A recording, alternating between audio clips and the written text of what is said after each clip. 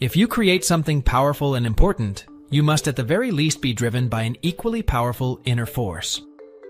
Ryan Holiday INFPs are almost all naturally creative people. They have an imagination that is boundless and a gift with words and writing that has made them some of the most renowned authors of all time. Rumored INFP creatives include Vincent van Gogh, Albert Camus, Edgar Allan Poe, and Kurt Cobain. With their outside-the-box thinking, non-conformist mindset, and deep emotional world, INFPs are probably the last people who need my advice on creativity.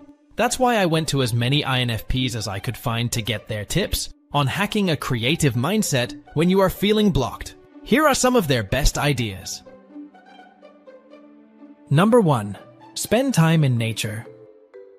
Did you know that when you spend time outside in a natural environment, how you view time transforms?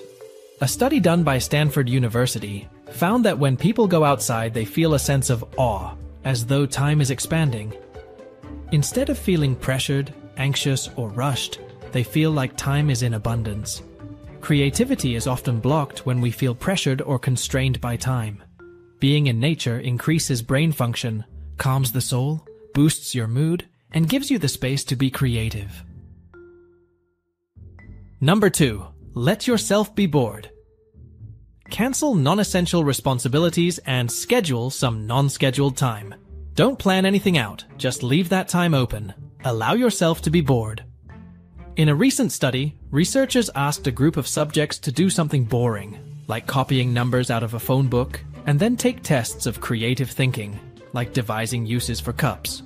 Surprisingly, bored subjects came up with more ideas than non-bored subjects. Boredom sparks creativity because a restless mind is anxious for stimulation and must create out-of-the-box options. Number 3. Read more often. Reading frequently opens your mind to new perspectives, worlds, and wonders. The more you read, the more creative you'll be. Reading just 30 minutes a day flexes your mind muscle and makes you think, fantasize, and imagine. Great writers are almost always great readers. Thankfully, INFPs are usually major bookworms. Number 4. Listen to music.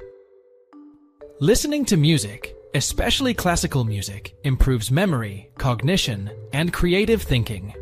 I spoke to dozens of INFPs who told me that when they are in a creative block, they turn on the tunes to get inspired and find creative strategies and ideas. Number 5. Smell your way to creativity.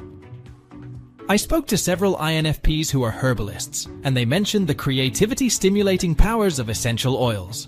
Apparently, frankincense fuels creativity by reducing stress and anxiety. Grapefruit makes you more alert, and eucalyptus revs up the mind and makes it more creatively powerful. Number 6. Journal. I quote, I keep one journal in my pocketbook and another by my bed. I always want a way to jot down my ideas and the random stories that kick around in my brain during the day.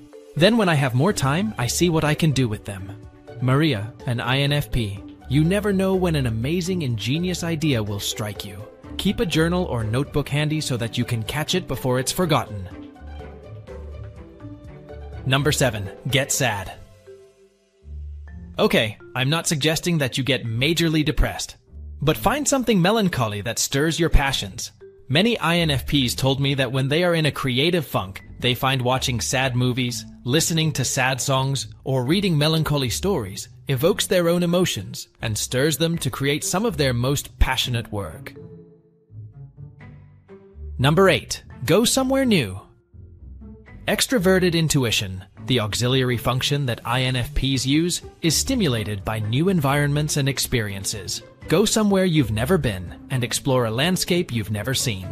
Several INFPs I spoke with said that traveling and having a nomadic lifestyle keeps them creative. Number 9. Challenge yourself. One study I heard recently found that placing constraints on creativity actually led to more creative expression. Try building a Lego sculpture out of only one shape of block, or try coloring a bouquet of flowers with only one dull, unsharpened crayon. Think of a way you can problem solve a creative piece of art. Number 10. Let go of expectations. One INFP artist I spoke with said that when she's creatively stifled, she paints without expectation and without a plan. She just lets the brush guide her and doesn't worry about creating anything legible. She follows her intuition and emotions and sees where that takes her. That's it for this video. Please feel free to share your experiences in the comments below. Thank you for your time and don't forget to like. And subscribe to the channel to never miss future uploads. And I see you in the next video for a happier, healthier mind.